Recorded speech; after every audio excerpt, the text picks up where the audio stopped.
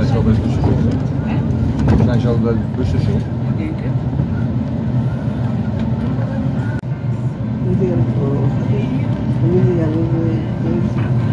Definitivamente, deve ser mais complicado do que você. Mas, então,